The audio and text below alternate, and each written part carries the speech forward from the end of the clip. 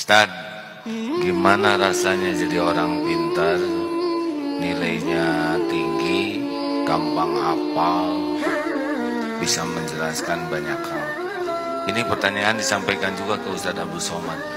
Plus sekarang terkenal di mana-mana Ustaz selama banyak orang yang datang. Gimana rasanya?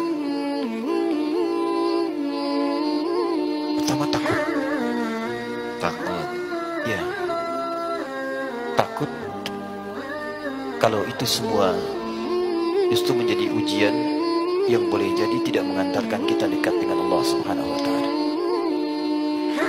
Takut kalau dengan semua itu ternyata ada hal-hal yang tidak disukai oleh Allah Subhanahu wa taala. Tadi saya sampaikan hadis riwayat Muslim nomor hadis 1905 karena ternyata yang duluan masuk neraka itu orang yang merasa pintar. Yang duluan masuk neraka orang yang mengejar popularitas. Yang duluan masuk neraka orang yang merasa ingin terkenal dalam kehidupannya.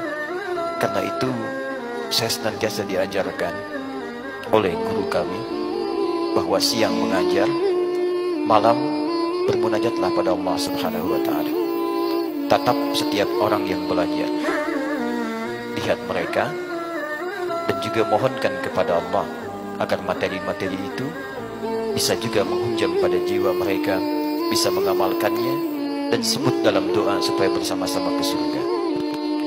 Setidaknya itu yang bisa meneduhkan jiwa. Dan saya selalu mohon kepada teman-teman, saya tidak minta apa pun. Saya hanya bermohon, mohonlah dalam setiap sujud agar Allah berkenan mengampuni dosa-dosa saya. Sekira itu.